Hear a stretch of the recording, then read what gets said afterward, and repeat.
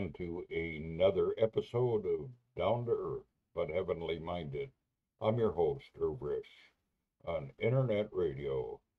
And today we're going to continue on in our articles on current issues. And this one is entitled Notes on Through the Valley of the Shadow. And this one is by uh, Daniel C. Snaddon. And with that said, let us just continue here.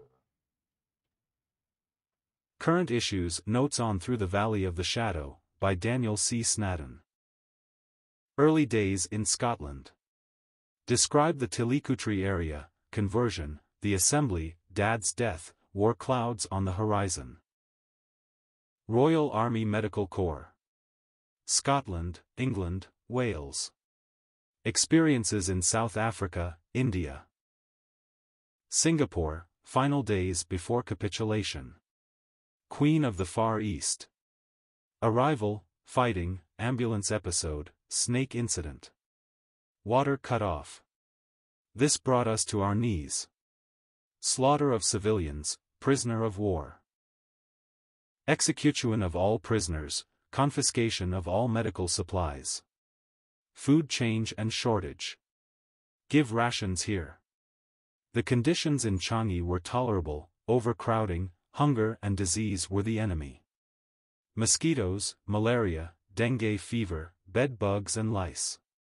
With all of this there came a decided change in men's nature. During this time we found some other Christians and met with them regularly. The Japs were becoming more aggressive and abusive beatings regularly. Anglo-Indians shot, Selarang incident. Over 10,000 men in a fenced-in area 300 by 200 feet. Describe. Vitaminosis, happy feet, burning pain. Captain Sheridan. Journey into the unknown, see number 1. Human heads on the railing, thousands of Chinese and Malaysians massacred. Capsule of Death. 35 men in a small box car, on to Bangkok. An end to the screaming, endless road, agonizing march. Agonizing and torturous forced march for 14 nights into the hostile jungles of Thailand, mud, toes, swollen legs. Death-riddled camps. Arrival in Tuns Hun South. Runway of death. Every tie cost a human life. The cost, inevitable, the suffering, tropical ulcers, falling and pulling of trees to the bridges, slave work was murderous. Drained physically, mentally and emotionally. Many who were working could hardly walk, they were skeletons, it was criminal. I know Jesus, the gospel meetings. Monsoons, sleep, human tragedies, blind, deaf, loss of coordination, mental derangement, miserable, scurvy wrecks of humanity. The Camp of Death. Cholera, an evil sickness. Cholera is an unpitying killer, in the process of killing it torments body and mind. This torment plus Japanese cruelty was in most cases beyond the limits of endurance of these living skeletons. We lived in death row with little hope of reprieve. 20 to 40 deaths a day, 17 days to live, communal graves. Oh, the tragedy in those moonless nights as one after another of these human wrecks painfully passed into eternity. Dysentery. Painful, debilitating, humiliating, exhausting. Men got so exhausted and worn out by pain that they just lay down helplessly in the vicinity of the overcrowded latrines. They were too weak to move. Here were young men, the cream of British youth, who few months before were tall and straight, not their same bodies are bent and curved, covered with tropical ulcers, bandaged in a crude way scraps of old army uniforms. The greenish-yellow discharge leaking out of the sides was a haven for multitudinous flies. These same flies would land on our food. The smell from the puss was almost unbearable. The spatula, maggots, transfusions. Despite our hard efforts, the deadly diseases of cholera and dysentery, kept on relentlessly draining, dragging, and squeezing the life from thin, worn, emaciated bodies. While this dreadful suffering was going on in the isolation of the hospital compound it was as bad on the railway. Men were tortured for the slightest infraction a man would be tied to a tree and beaten with thorn branches, then left out in the open for hours bleeding and naked exposed to the burning heat of the tropical sun, to mosquitoes, ants, and flies. These victims shaking with fear, their backs stripped raw were carried back to the camp and after a few days forced back to work. Death stared us in the face constantly, we were doomed to die, the Chinese incident. A hedge around. Liberation, coming from the Navy RAF, raising the flag, the bugle and bagpipes. Arrival home, home at last, mother's prayers, the power of prayer. Appeal to each one, saved and unsaved, to trust this wonderful Savior, and for believers to give themselves unreservedly to Christ. When I survey the wondrous cross, etc. The Master was here and I refused him the key. Holman Hunt's picture, Jesus, the light of the world. The shout, the voice, the last trumpet.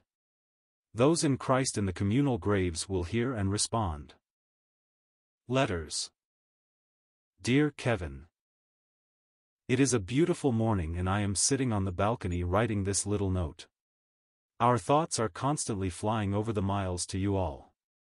We often wish we were closer to you so that we could drop in, or you could come and see us. We hope you are having a good summer. Are you going to any Christian camps? If you are, have a good time and pay attention to the scriptural lesson.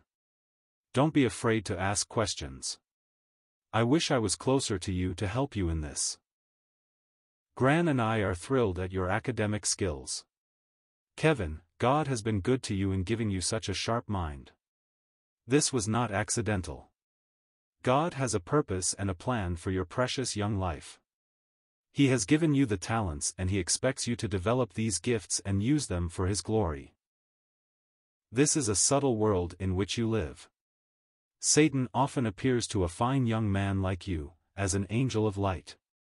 His motives are not good, he has only one purpose in view, to draw you away from the Lord. The world is also a vicious place. Satan, who knows his time is short, is appearing in his true character as a roaring lion, seeking whom he may devour. Many a good young man has been ruined by him. Tangle up your young life in the Word and in prayer. James, in his epistle, writes, Submit yourself to God, resist the devil and he will flee from you. We so enjoyed your visit in May. Sorry I was in the Bahamas, but the few days I had with Mom and you were special. You must do it again.